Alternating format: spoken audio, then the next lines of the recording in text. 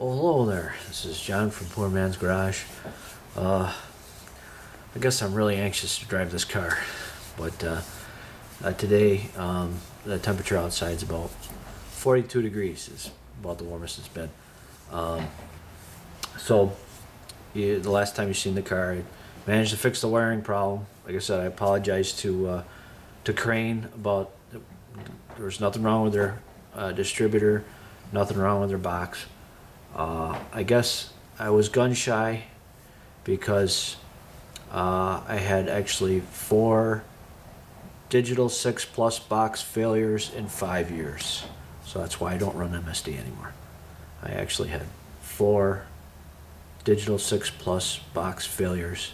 The box just went uh, in five years. So my first thought when I didn't get spark was it's the ignition box. So my apologies to Crane. Um, so it was all me. It was uh, um, my fault that I switched the wiring around to, to try to neaten it up, and it just so happened that I picked the only wire probably on the whole car that when you, you try to start the car that the wire goes dead. So anyway, so where we're at now is um, remember the air bleeds when I was talking to you about air bleeds that you have to set the air bleeds as lean as you can get it and yet the car still has to fire up. And you know, maybe you try it two, three times. And I'm talking about when the car's cold. So now the car's been sitting for a week now, and this is the warmest day that we've had. I haven't tried to start it in a week. Right now, currently, my air, Holley air bleed is set for one turn out. Exactly one turn out, which is the leanest this, this car's ever been as far as the air bleeds go. Usually about they're about one and a quarter. Right now they're one out. So we're gonna see how good the car starts up when it's cold. If it starts up and idles semi-fast, um, the air bleeds, I'm not going to touch them.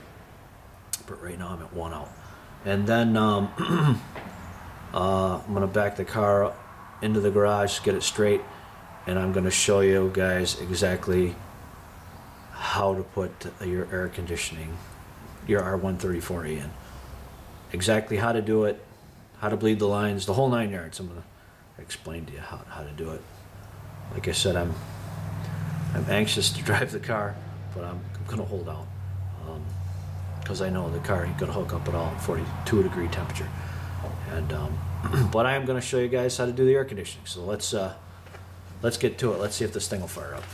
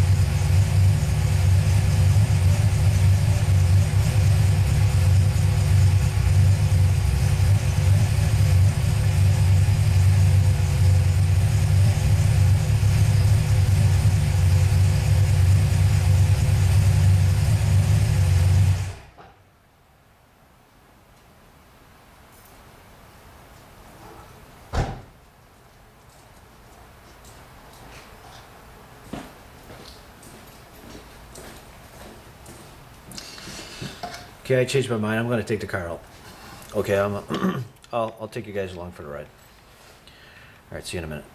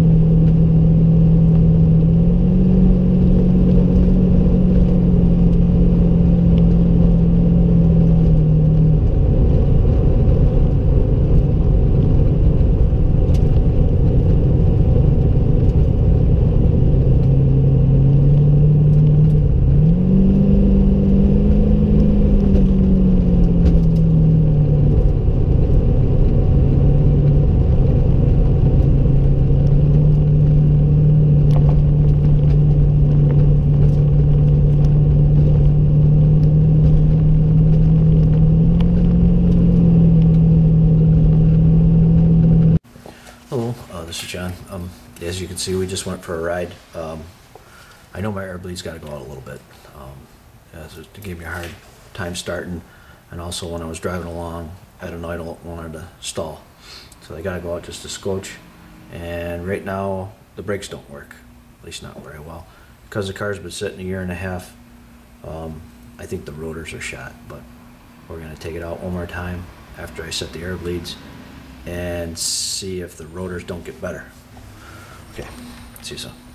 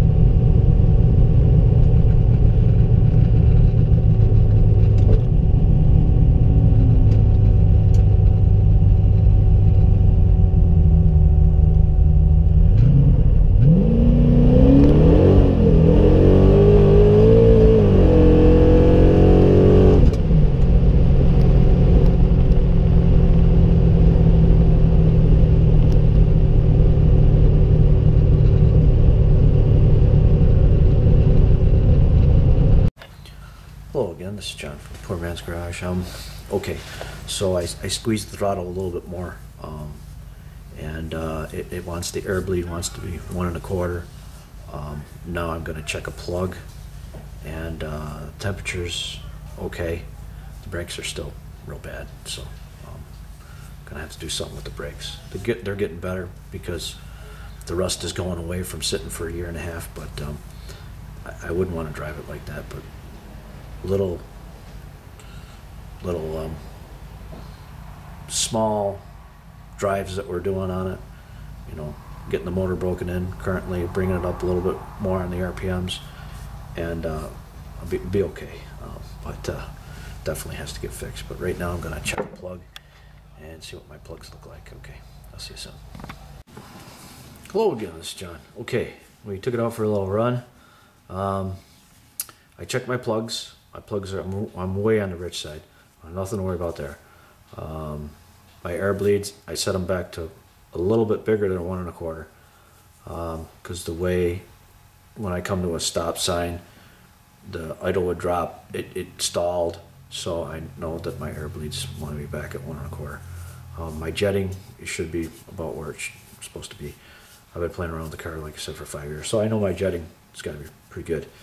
Um, so the only thing we got uh, to do now is I I took my primary float and I dropped it down a little bit to match my secondary float. We're gonna check the timing on it. I know my plugs, it's rich. My air bleeds are about one and a quarter now. Um, so we're gonna get back to the air conditioning. I know I, I, the way the motor ran in the driveway, it was running funny and it, it made me nervous. So I wanted to take it out on the road to see if I can't uh, figure out what's what's up with it. And what it was is the air bleeds were too tight. To, to- I they had to come out. And that's basically the only thing that was wrong with it is I had my air bleed so far in that it was acting funny. So so anyways, getting back to the air conditioning, I'll show you guys uh, exactly what you got to do. I'll get back to you in a second once I get uh, all my stuff out of the back. All right, see you soon.